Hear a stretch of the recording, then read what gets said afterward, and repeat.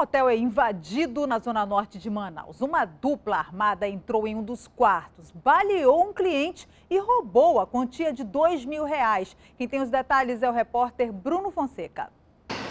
Pois é, Mariana, um homem foi baleado com um tiro na perna dentro deste motel localizado aqui na Avenida Torquato Tapajós, na zona norte da capital. De acordo com o CIOPS, dois homens atiraram contra a vítima e fugiram. O caso aconteceu no fim da noite deste sábado.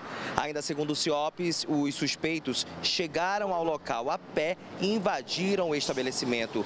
Eles estavam armados. Os criminosos arrombaram um dos quartos e dispararam contra a vítima. O tiro tiro atingiu a perna direita do homem. Não foram divulgadas informações atualizadas sobre o estado de saúde da vítima. A dupla teria roubado uma bolsa com a quantidade de dinheiro em dois mil reais que estava combaleado. Após a ação, eles fugiram do local e até agora não foram localizados. Ninguém quis gravar a entrevista. Eu volto com você no estúdio. Obrigada, Bruno. E duas pessoas morrem afogadas em menos de 24 horas em Parintins. Em um dos casos, um bebê de um ano e seis meses continua desaparecido. As buscas pelo corpo do pequeno Luiz Felipe Marialva, de um ano e seis meses, foram suspensas no início da noite. A Marinha do Brasil está ajudando o Corpo de Bombeiros. Na embarcação, conhecida como Bajara, viajavam Felipe Marialva da Silva, 23 anos, a esposa de Felipe, Stephanie Costa da Silva, e o filho do casal, Luiz Felipe Costa Marialva, de um ano e seis meses, além de um tio da criança, Fábio Marialva da Silva, de 18 anos. A embarcação transportava ainda 30 melancias. Sem gravar entrevista, o pai de Luiz Felipe, este senhor que aparece sem camisa na imagem, disse que ainda tentou salvar o filho, porém não suportou a força da correnteza do rio. O naufrágio aconteceu aqui nesta área, em frente à cidade Garantido, na orla de Parintins, onde no mês de outubro um barco pesqueiro também naufragou. Para o agente da Capitania dos Portos, capitão Marcelo Barros, a tragédia poderia ter sido evitada se os ocupantes da embarcação estivessem com colete salva-vidas. E um fato importantíssimo que eu vivo, faço recomendações, faço um alerta. Utilização do colete salva-vidas. Tem que usar o colete, tem que usar. Nessa hora que você vê, basta um acidente, um acidente para virar uma tragédia. Ontem à noite, na zona rural de Parintins, mais uma pessoa morreu vítima de naufrágio foi o operador de máquinas de pequeno porte, Iracildo de Souza Xavier, 42 anos. Segundo familiares, Iracildo teria consumido bebida alcoólica e caído também de uma bajara. Seu corpo foi resgatado nesta manhã por mergulhadores do Corpo de Bombeiros que o trouxeram para o IML local. E mais uma prova, mais uma demonstração que não estava utilizando colete salva-vidas, que com certeza teve uma grande diferença nessa, nessa, nesse, nesse final, final trágico. E realmente a população ela tem que começar a se conscientizar, senão vão ser vítimas em cima de vítimas. É uma pena, né? Um jovem de 19 anos foi espancado até a morte no Lírio do Vale, Zona Oeste. Segundo testemunhas, o crime teria sido motivado por ciúmes.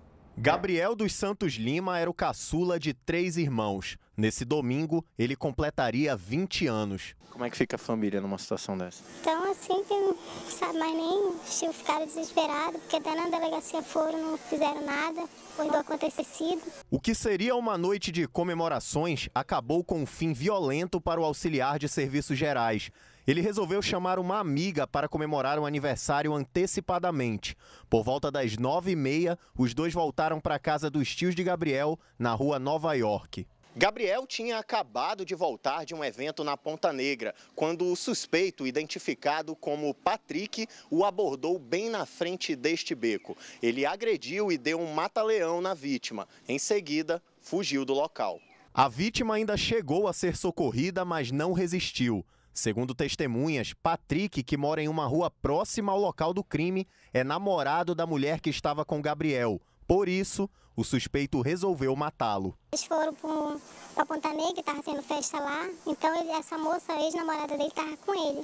E o namorado atual mesmo dele estava atrás dela e dele, né? Tanto que encontrou ele aqui e fez o que O corpo do jovem foi velado no Campos Sales, na zona oeste de Manaus. O suspeito continua foragido.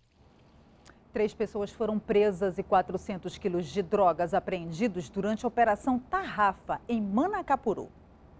Foram 45 dias de investigações que terminaram com a prisão de Marco Júnior do Nascimento, de 29 anos, e o colombiano Jonathan Lopes, que trabalhava no barco que vinha de São Paulo de Olivença. Foram 400 quilos de cocaína apreendidos. Toda a droga estava distribuída e escondida em malas dentro do porão da embarcação. A operação hoje foi, foi com muito sucesso. Ela teve a participação de um cão chamado Zeus, que conseguiu identificar uma parte da droga que vinha no barco. Portanto, na verdade, é um sentimento de cooperação muito grande da Secretaria de Segurança e da Secretaria de Inteligência. Toda a droga está avaliada em 10 milhões de reais. Na abordagem, a polícia conseguiu prender ainda uma mulher que estava com 4 quilos de maconha do tipo skunk. Sempre eles, eles trazem toda uma estrutura, mulheres, eh, menores, para despistar o trabalho. Mas o nosso trabalho de inteligência da Secretaria de Segurança com Polícia Civil, o DENARC, DRCO, DEFLU e o nosso Canil, conseguiu interceptar e chegar no, na droga.